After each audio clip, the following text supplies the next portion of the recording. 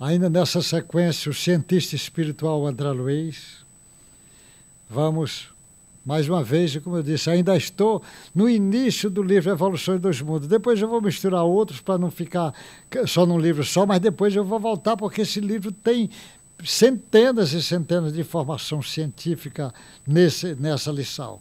Hoje, na lição número 64, olha o que o André Luiz diz inicialmente. Nós ainda estamos falando sobre metabolismo. Ele diz as fa fases do metabolismo inicial.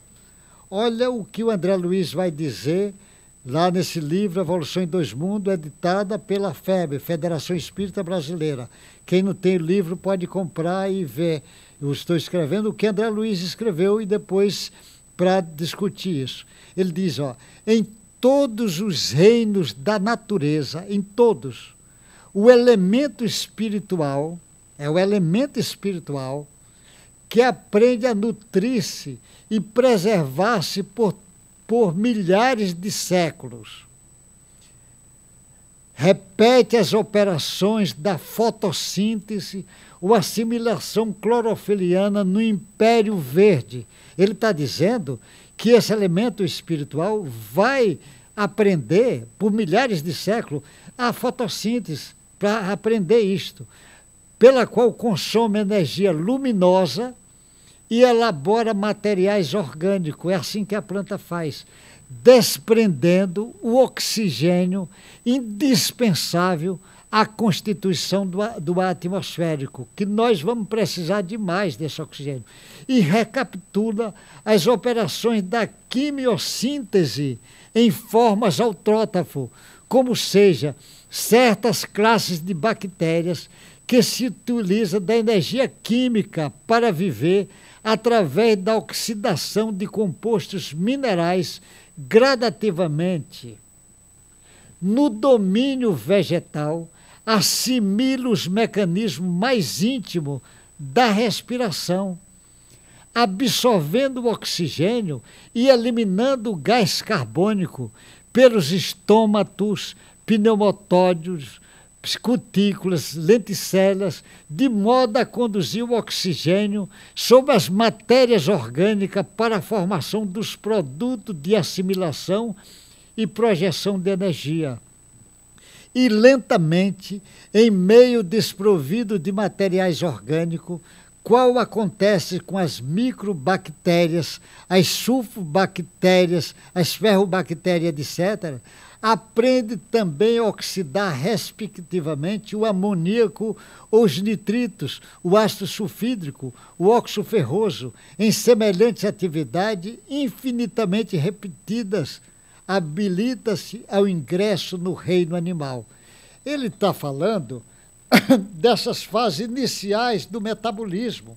E ele diz que essa fase inicial não começa no homem, começa lá atrás do princípio inteligente treinando nas formas rudimentares das bactérias, usando o material que tem aí esse material que tem, que já tem minérios aí na Terra, ele vai usar esse material. Sobretudo o ferro, eles vão usar muito isso, vai usar.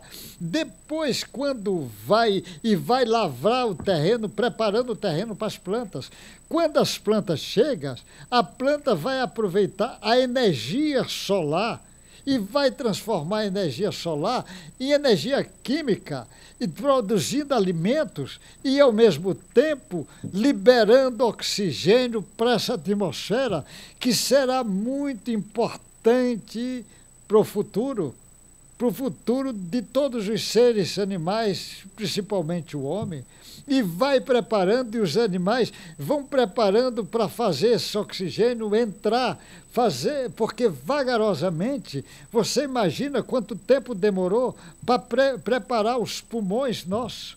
O aparelho respiratório, quanto tempo? Isso não foi formado em 24 horas. Isso vai sendo formado lentamente, à custa de trilhões e trilhões de seres que trabalharam para esse corpo nosso poder existir. Então é preciso um respeito muito grande com o nosso corpo.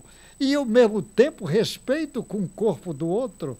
Quando alguém faz, está fazendo aborto, está matando alguém, ele não sabe o a transgressão imensa que ele está correndo, até numa visão material, desses seres todos que trabalharam e que nós somos devedores a esses seres todos. Então você imagina, isso vem sendo trabalhado, preparando o terreno para a formação agora do homem.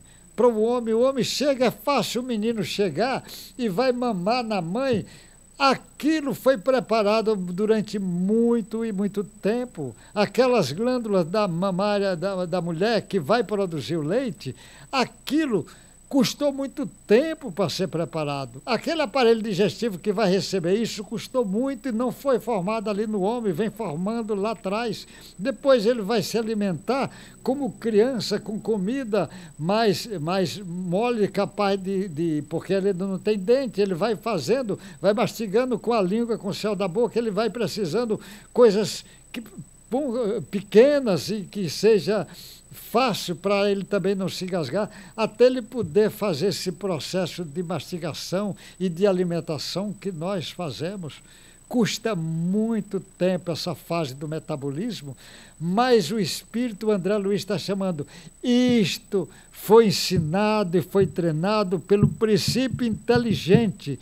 Querer entender o metabolismo sem trazer a discussão do princípio inteligente, vai ficar um vazio um vazio que não será explicado se não trouxer essa discussão do princípio inteligente para entender isso. Então, os estudiosos dessa parte precisam trazer essa compreensão do espírito nessa compreensão do, das fases do metabolismo inicial, depois as mais complexas, sem a compreensão do princípio inteligente, trabalhando isto sob supervisão de espíritos evoluídos, magnetizando, às vezes, partes de cada ser daquele para que isso pudesse acontecer. Não é fácil ter formado a boca, o aparelho digestivo, o estômago, isso custou muito tempo. É preciso ter cuidado.